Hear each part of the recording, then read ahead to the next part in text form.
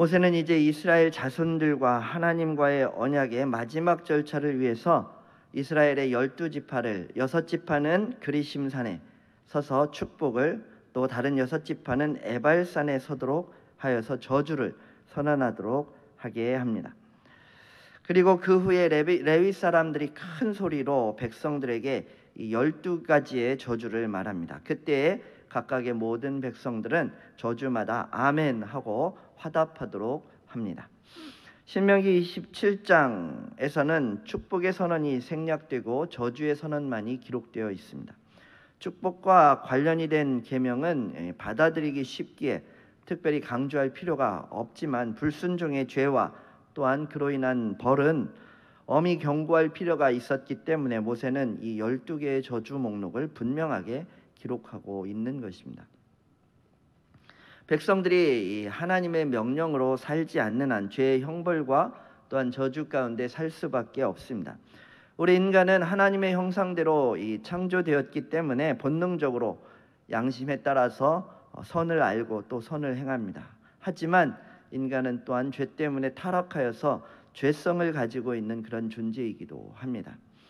선과 악을 모두 경험하는 것이 인간의 삶이고 선을 심어서 복을 거두기도 하고 악을 심어서 저주를 거두기도 하는 것이 인생입니다.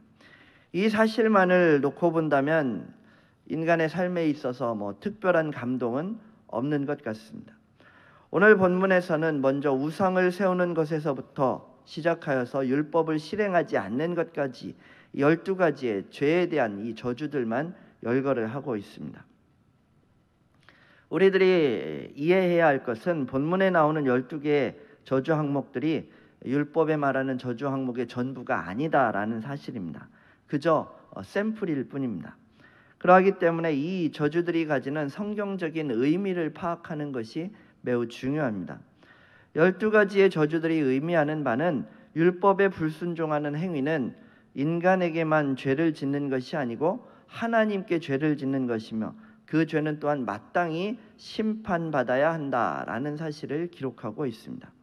각각의 저주의 항목이 나올 때마다 이스라엘 백성들이 어떻게 해야 합니까? 아멘 하고 화답함으로써 하나님의 공의와 하나님의 심판을 받아들여야 했습니다. 저주의 내용이 계속해서 선포될 때 그 마음이 어떻겠습니까?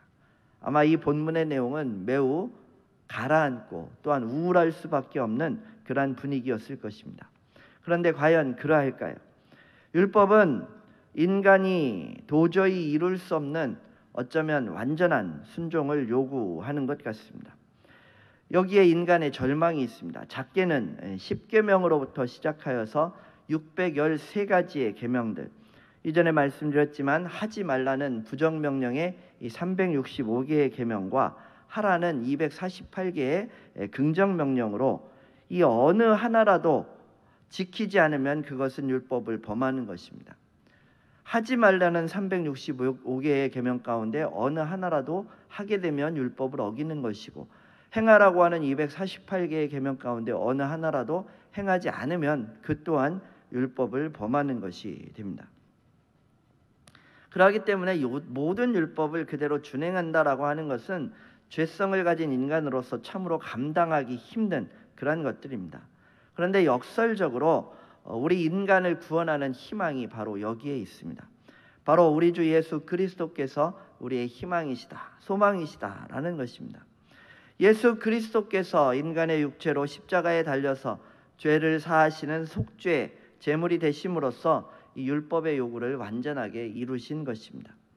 우리들이 도저히 얻지 못할 그 의를 하나님께서는 예수 그리스도를 통하여서 얻도록 하셨습니다. 예수 그리스도의 은혜를 통하여서 우리들은 모두 율법의 정죄에서 해방되어서 영원히 의롭다 칭함을 받게 된 것입니다. 예수 그리스도를 믿는다라고 하는 것은 율법의 저주에서 벗어나서 영원한 의가 되시는 예수님 안에서 하나님의 사랑을 받으며 또한 복된 삶을 사는 것을 의미합니다. 오늘 말씀 가운데 보면 가장 먼저 나오는 것이 무엇입니까? 우상 숭배에 대한 이야기입니다. 이 우상 숭배를 하는 행위는 어, 하나님을 멸시하는 행위입니다. 부모를 업신 여기는 것도 마찬가지입니다. 눈에 보이는 부모를 공경하지 않으면서 어떻게 눈에 보이지 않는 하나님을 공경할 수가 있겠습니까? 그래서 우상 숭배와 부모를 경홀히 여기는 사람에 대한 저주가 먼저 선포됐는데 잘 보면 이 말씀은 행위적인 의미가 아니라 이 관계적인 의미의 죄를 다루고 있습니다. 스스로 주인이 되어서 하나님을 멸시하거나 혹은 자신을 낳아주신 부모님을 비인격적으로 대하는 것은 철저히 세상의 방법들, 세상 사람들이 하는 세상의 길이었기 때문입니다. 이웃의 땅의 경계표를 옮겨서 손해를 끼치거나 혹은 맹인에게 길을 잃게 만드는 것, 나그네와 고아와 과부를 공정하게 재판하지 않는 것도 저주받을 일이었습니다. 이것은 또한 이웃 사랑에 대한 계명입니다. 특별히 스스로를 지킬 힘이 없는 약자들에 대한 억압을 하나님께서는 철저히 금하고 계신 것을 볼 수가 있습니다. 사람을 차별하지 않고 서로 사랑하는 것이 하나님 나라의 기준입니다. 하나님은 약한 사람들을 보호하고 사랑하는 것을 기뻐하십니다. 하나님께서 세우신 질서를 어지럽히고 깨뜨리는 행위도 저주받을 일입니다. 아버지 아내와 동침하거나 짐승과 교합하는 것, 근친 상간을 금하셨습니다. 이러한 일들은 하나님께서 정하신 관계와 정체성의 뿌리를 흔드는 그러한 일이었기 때문입니다. 하나님께서는 백성들 앞에서 이러한 말씀을 다시금 하나하나 들려주시고 기억하고 또 경계하도록 강조하고 계십니다. 스스로 주인이 되어서 하나님이 정하신 질서와 관계를 파괴하고 어지럽히는 것이 성경에서 말하는 죄의 뿌리이다라는 것입니다. 인간이 스스로 하나님이 되려 하여서 짓는 그러한 죄는 인간의 잔인성을 가장 적나라하게 보여줍니다. 이웃을 암살하거나 뇌물을 받고 무죄한 자를 죽이는 사람은 반드시 저주를 받습니다. 의도적으로 살인을 행하는 것은 지금과 마찬가지로 용서받을 수 없는 그런 죄였습니다. 다른 사람의 생명을 좌지우지할 수 있다라고 생각하는 것은 스스로가 하나님이 되려는 것과 마찬가지입니다. 죄로 인해 사람과 사람 사이의 인격적인 관계가 망가지면 그것은 비인격적인 범죄로 이어지게 됩니다.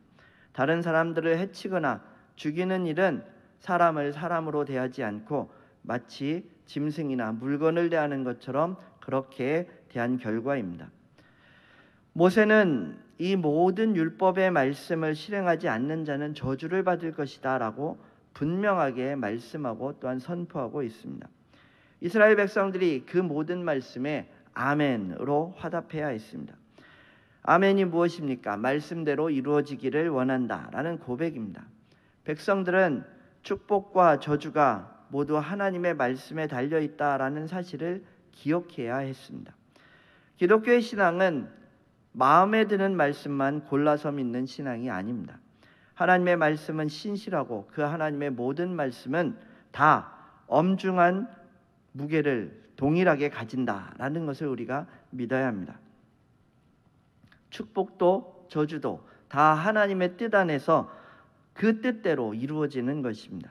그러하기 때문에 우리들은 모두 그 하나님의 말씀 안에서 하나님의 말씀을 순종하면서 살아가기를 힘써야 하는 것입니다. 우리들은 모두 하나님을 거역하는 그러한 세상 가운데에서 살아가고 있습니다. 그러나 하나님께서는 거룩한 백성, 이 성도된 하나님의 백성들이 세상의 어두운 길을 따라가지 말고 하나님의 말씀에 순종함으로써 거룩하게 살 것을 명하고 계십니다. 하나님은 특히 우리가 다른 사람들과 관계를 맺을 때에 어떤 태도를 취하는가를 중요하게 여기십니다.